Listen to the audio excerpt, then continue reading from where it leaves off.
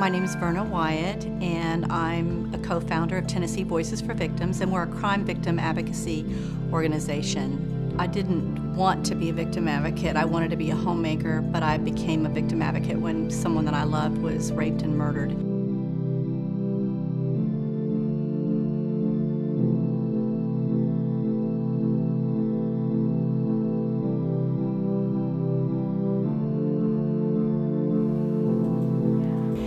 Changes the way you see the world. And I wanted to prevent other victims from feeling the kind of pain that I felt, the kind of pain my family felt from that horrible crime. My name is Valerie Craig, and I am one of the co founders of Tennessee Voices for Victims. And unlike a lot of victim advocates, I did not start my career because of some kind of crime devastation that happened to me. Instead, I really consider my career beginning in 1995 when I worked with individuals at a camp for people with disabilities. We learned so many different things about the human spirit, but probably the biggest thing that I learned is the power of a voice and the importance of empowering individuals. When my career was led to work with victims of violent crime, I brought those skills that I had learned all those years ago to help individuals figure out how they have the power to heal um, and to help them reclaim what was taken from them. I began my career working in a domestic violence shelter, and it was there that crime became more up close and personal rather than just stories on the news. And I was especially distressed to see kids who were impacted by violence, children who aren't safe in their own home.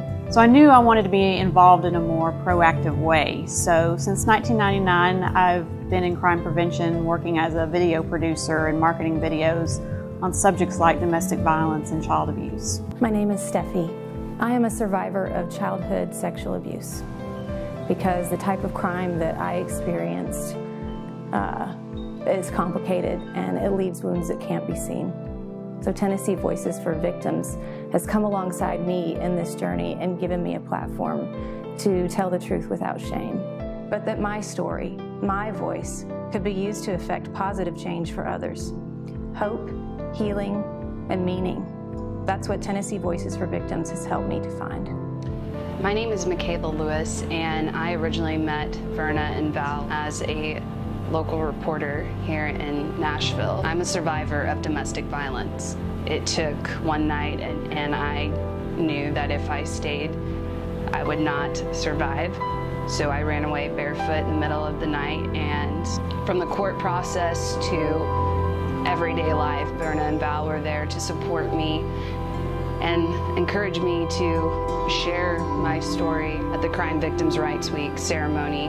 No one ever expects any type of crime to happen to them, but when it does, you have one of two options, and that's either let it consume you or turn it into something positive and help others, finding strength through it all.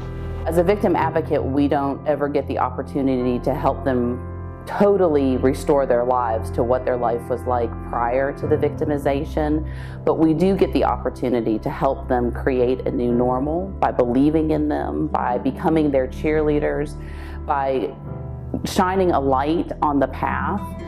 Um, and I think that those pieces are just a really critical part in helping that individual not only heal from what has happened to them, but also to transcend it. My name's Tony McPhee, and my youngest son, Andre McPhee, and my nephew, Greg Miles, they were murdered on 9 11 05 for monetary gain.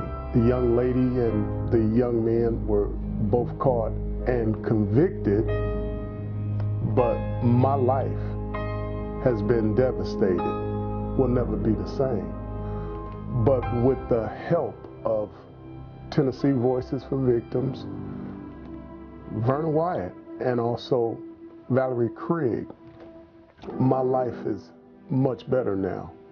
Uh, the road has been tough, but through organizations such as Tennessee Voices for Victims, I now have a purpose in life and I have hope. It gives me an opportunity and a chance now to do something positive with my life. Whereas before, I was really just going through the motions.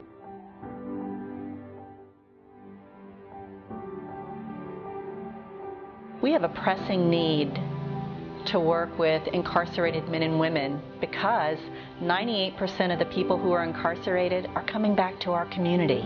So through our victim impact programming, we work with offenders to help them understand the impact their actions have had on their victims. Uh, my name's Angel Vargas. Took victims impact class. And it showed me that what I did affected other people, and it just it changed my life. It it took me through a roller coaster of emotions, ups and downs, and meeting Verna and Valerie and the Tennessee Voices for Victims just had a huge impact on my life and changed changed me for the better. Now today I live a completely different lifestyle, being able to provide for my kids and living a life that that is not affecting others the way my old life did. Andre and Greg's death won't be in vain because if I can help just one young man, it gives me a, a purpose. My name's Kathleen, and I'm a survivor of a 1985 sexual assault. If it hadn't been for my friends and family, I wouldn't have the courage to speak out. But I especially want to thank my friends at Tennessee Voices for Victims for being such a support. Please consider donating to Tennessee Voices so they can continue their support. And whether you're a survivor or not, we all have the ability to change the world.